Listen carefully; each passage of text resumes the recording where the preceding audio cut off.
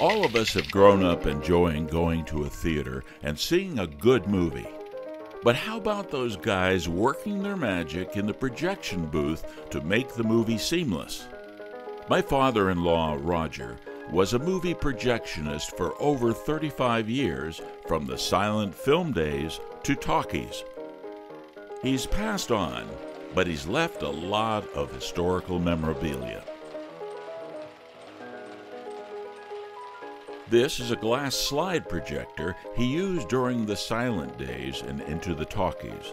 It hadn't been used for at least 80 years and needed some serious restoration.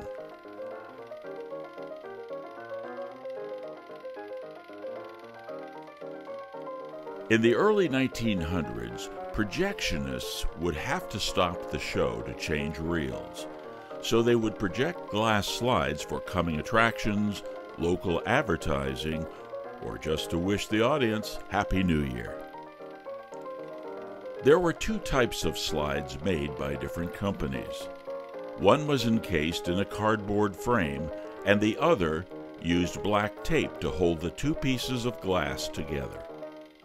The inside surface of one pane of glass was printed with a positive black and white image of the coming attraction and was usually painted with vibrant colors.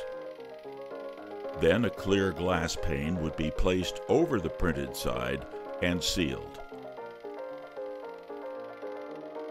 In those days, the audiences were watching their movies in black and white, and a vivid color slide probably made an impression and lured them back to the theater to enjoy another rollicking flick.